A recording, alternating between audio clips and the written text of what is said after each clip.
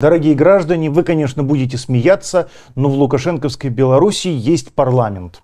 Да, звучит уже странно, но да, формально есть некий совещательный орган, куда расставляют э, угодных и покорных э, лукашенковской власти людей. И вот туда якобы состоялись э, выборы. Ну, конечно же, называть это серьезными выборами не менее возможно, но мне бы хотелось поговорить э, с Арне Ведло, политическим обозревателем, историком и экс-депутатом эстонского парламента по поводу того, вообще, насколько сегодня существует сколь независимая от Кремля белорусская политика и какую функ- функцию вот в путинской конфигурации сегодня занимает Республика Беларусь. Ну, э, видите, Александр Леогорич, это же продукт у нас КГБ. Э, люди как бы забывают это, что он служил в пограничных войсках, а пограничные войска в Советском Союзе, они были сплошь это КГБ, они были частью системы КГБ. Э, так что он там даже имел офицерские погоны, а люди забывают это. Он успел еще раз служить в советской армии, он дважды служил в советской армии. Э, но вот э, именно вот как, как вот в пограничных войсках там политические там работники и, и так далее.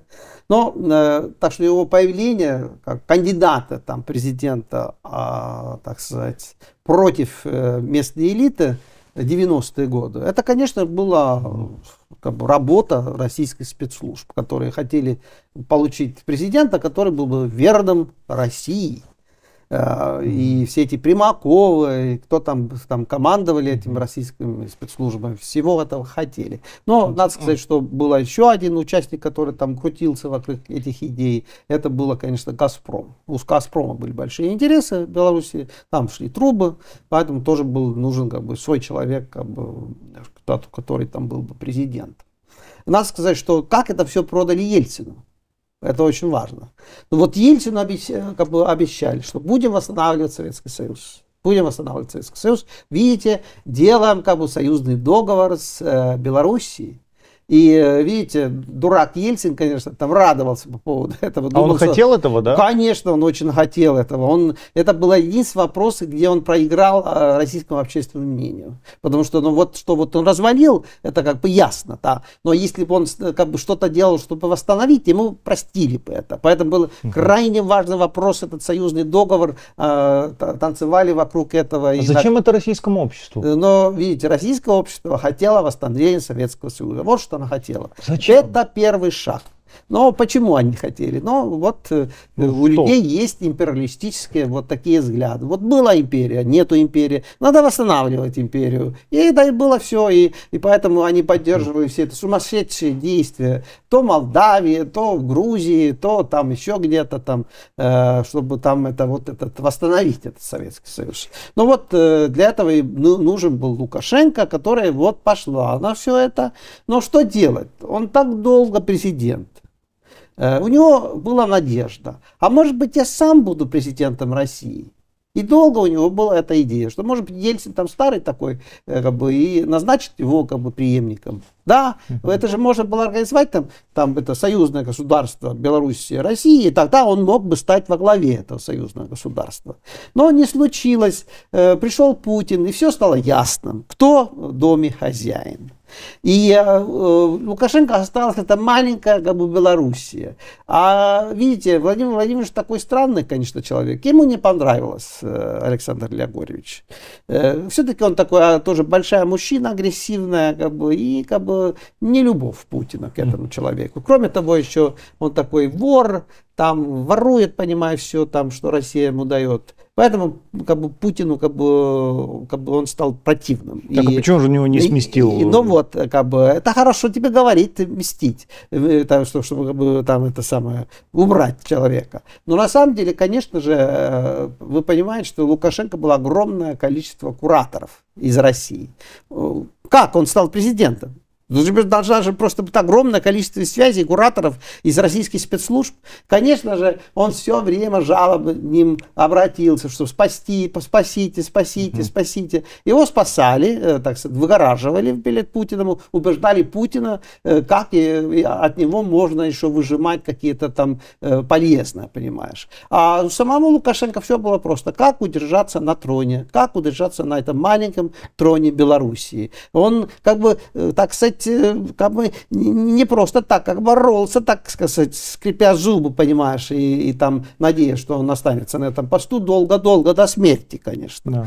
Ну вот, э, нынешняя ситуация, конечно, уже э, из Кремля дают сигналы, что, ну, батенька, ты же староват как бы, ты больной человек. Э, Александр Григорьевич тяжело больной человек то как бы надо думать о будущем, конечно, надо передать преемнику как бы это самое трон. А тут Лукашенко говорит, ну вот, как бы, а вы что, даете преемнику этот самый трон? Путин никуда не хочет уйти. Почему ну, я да. должен уйти? Я никуда не хочу уйти. Я хочу снова кандидировать на пост президента в 2025 году. Да. Так что вот такие страсти постоянные. Последний раз он был там в Казани, еще нескольких там там раз встречался с Путиным, ему дают эти маленькие так, сигналы, что надо, надо, Федя, надо.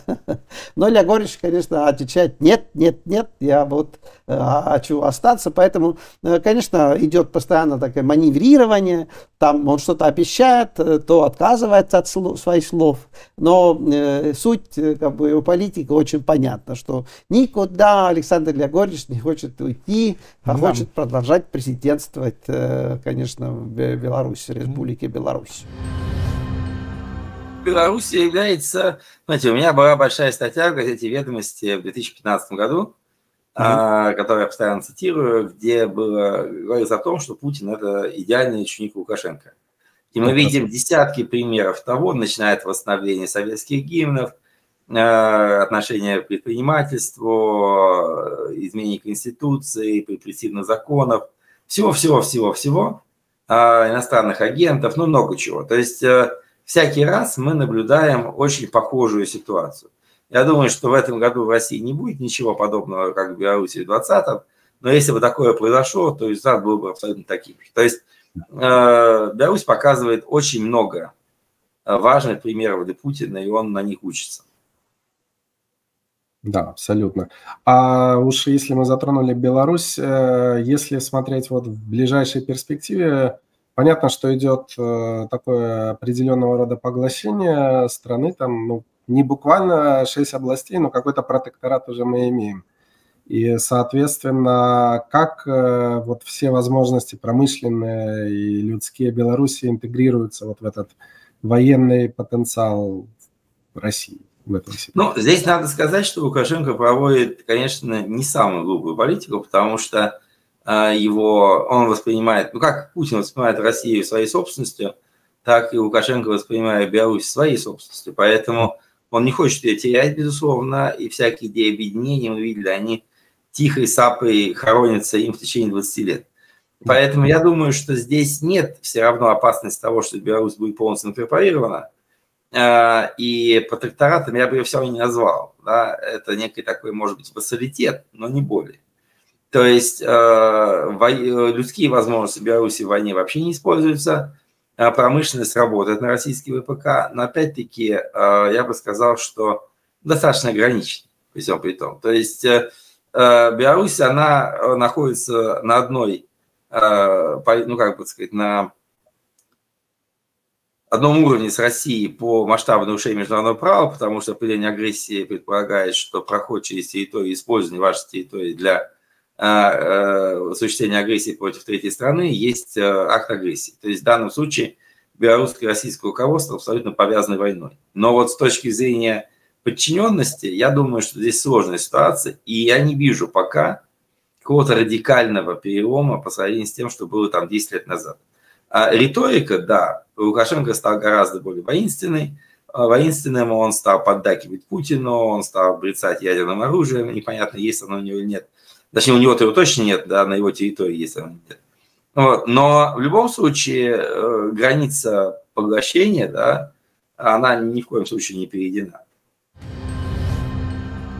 Сейчас уже забылась э, вот та старая фактология, но для современников это было очень примечательно, что в Украине и в Беларуси в 1994 году одновременно пришли э, советские функционеры к власти. Леонид Данилович Кучма, который был ну, ВПКшный инженер, э, большой человек для советского ВПК, и он пришел к власти русскоязычной, с не прям откровенно пророссийской риторикой, но у него была такая вот загогулина, как тогда было модно говорить, это многовекторность. С одной стороны Европа, с другой стороны Россия, и вот мы балансируем, и, Бел... и э, Лукашенко пришел такой вот от народа, от Сахи, и они шли так ноздря в ноздрю. Все думали, что вот, ну все, вот пожизненка пришла и в Украину тоже. Но нет, в Украине это продлилось всего лишь 10 лет, а этот вот уже 30 лет в этом году, как он э, на посту президента. Но он же до сих пор не признал Крым территорией России и не признал новые оккупированные территории российской, э, за российской юрисдикцией. Почему это Путин ему спускает? Учитывая, что сейчас э, Лукашенко утратил легитимность в глазах Европы, э, это уже не та переговорная площадка, которая была вот э, в 2015 году, Минские соглашения. Он же тогда позиционировал себя как миротворец, и все рейсы в Украину через Минск шли то есть там белорусские авиакомпании богатели просто на, на глазах.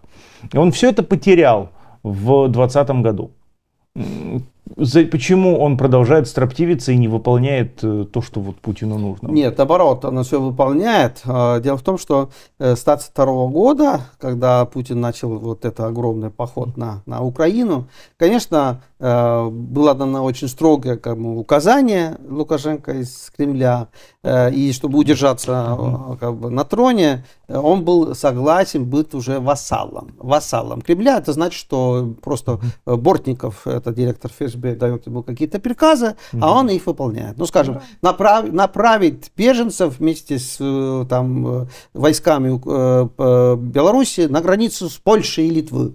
И он это сделал. Да. Это было крайне невыгодно для него шаг. Но он пошел, потому что был приказ из Москвы, он не мог, мог сопротивляться этому приказу. Другое дело, что, видите, у него по-прежнему хорошие связи, конечно, с спецслужбами России у Лукашенко. И он, э, они там как бы все время придумывают, э, там, зачем этот Лукашенко нужно и почему ему нужен особый режим. Дело в том, что вы же помните, что все-таки война, все-таки санкции. No. А тогда еще Беларусь не была под санкциями. И так они предлагали, что Беларусь является коридором. Коридором для российских товаров. Э, для этого нужен вот Лукашенко, для этого нужно чтобы он мог бы продолжать политику непризнания там, э, там захвата этого Крыма и так далее. И это дает возможность э, вот эту... Играть с Западом. Ну да. Э, но я могу сказать, что что-то здесь есть. Вот у нас э, большое событие. Вышла отставку Виктория Нуланд. Угу. Она, конечно, курировала всегда и вопросы Белоруссии. Дело в том, что это такая длинная-длинная такая как бы, как бы комбинация Госдепа, где как бы идея простая на самом деле, что есть какой-то самостоятельный Лукашенко который как бы не ладах с Путиным, понимаешь, и мы его можем использовать в своих как бы играх. Очень сложная идея, но эта сложная идея очень как бы, тяжело а, как бы, сказалась на белорусской оппозиции. Потому что было же видно, что вот были эти белорусские события, да, но как-то они не очень получили поддержку от Запада. Э, боролись они, боролись с этим Лукашенко, но как бы Запад ничего особо им не дал, чтобы они могли бы там бороться с этим Лукашенко. Они проиграли.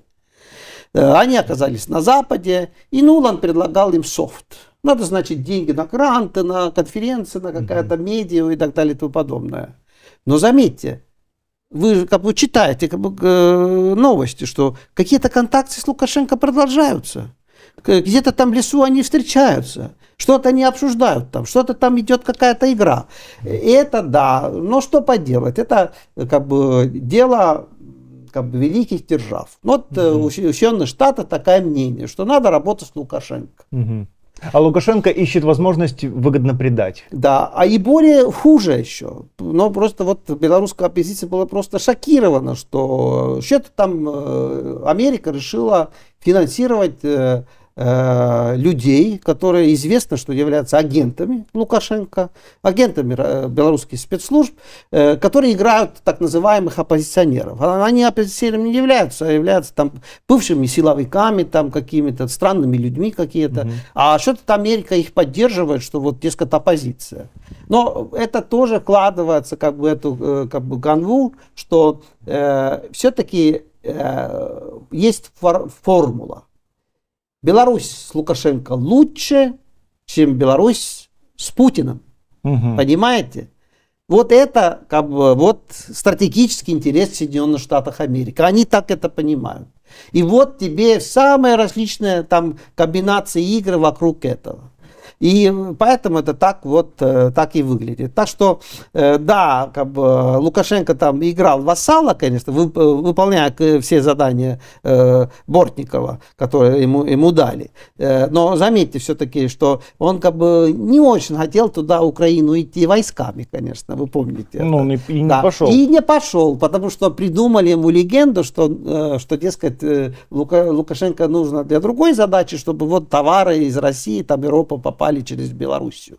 Но э, э, не суть важно, конечно. Просто это показывает какая-то э, интересная, как бы странная ситуация вокруг этой как бы, Белоруссии. На самом деле э, Лукашенко, для Лукашенко это все игра.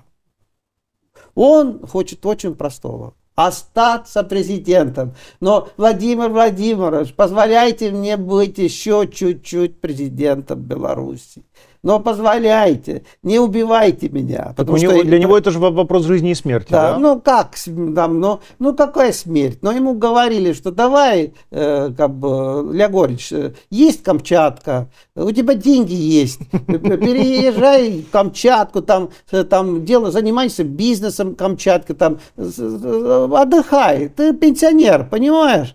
А... Уступи дорогу молодым, Путину, да, ну, например. Как бы, он говорит, что не хочет. Вот не хочет хочет, как бы, давайте, что я буду и дальше как бы президентом. Ну, так упрямый. Что, да, вот такая вот ситуация. Многие говорят, что все-таки, но Путин такой человек, мы видим, там погибают постоянно люди, луч, лучший как бы шестерка, а можно говорить и друг, э, Пригожин, что все-таки был убит, как бы, и так далее. Так что мы видим, как он э, этим всем делам относится. Поэтому, конечно, все понимают, что, э, в общем-то, так может случиться с Лягоричем. Могут поубивать его через какое-то время, когда когда Путин это решает.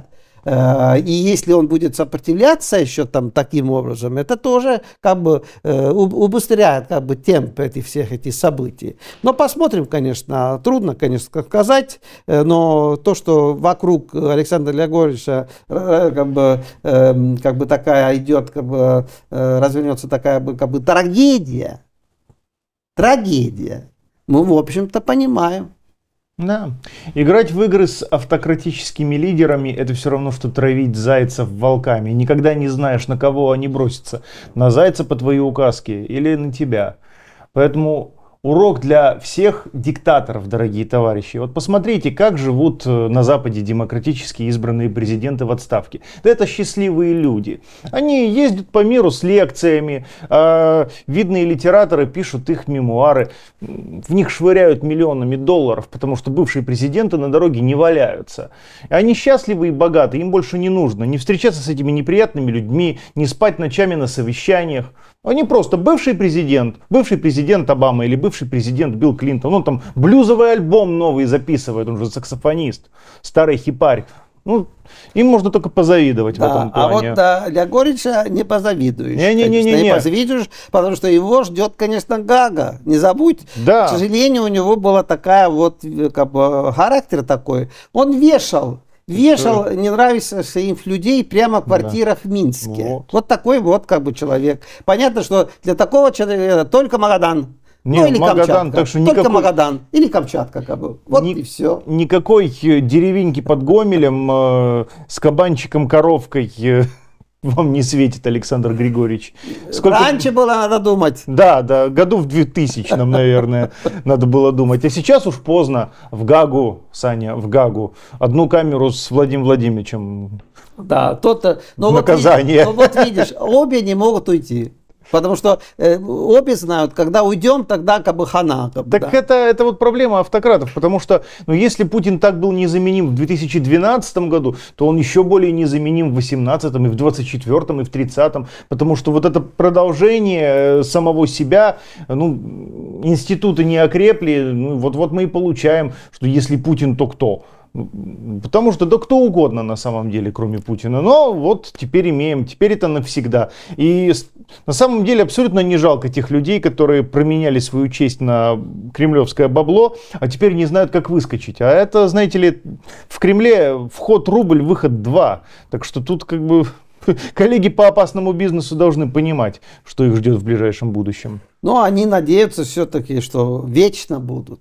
Вечно. Ну, нет ничего вечного. Вот э, был, например, Владимир Соловьев. Он же реально себе строил другую жизнь. Он вкладывал деньги в эти виллы на озеро Кома, что в какой-то момент он сядет на самолет, уедет и никогда больше не вспомнит эту телестудию второго канала. И будет там э, уважаемым сеньором. Да, свои... А хрена с два. Клин-карты э, Соединенных Штатах Америки, угу. этими видами жительства в Эстонии, Германию, конечно, mm и так далее, -то, и не говоря уже о виллах, как в Италии и так далее и тому подобное. Израильском, конечно, гражданством. Все у него было, как бы. Как бы. Вовремя, вот. но, но не фартануло, не соскочил. И вот так, э, помните, дорогие кремлевские товарищи, предать вовремя – это предвидеть. Пора предавать своего патрона. Патрон вас утащит на дно. В этом их нужно всячески поддерживать. Чем быстрее они поймут, что нужно предавать своего кремлевского партнера, тем быстрее война закончится. На этой оптимистической ноте мы заканчиваем. Проверяйте потребляемые вами новости, пишите нам комментарии и будьте здоровы.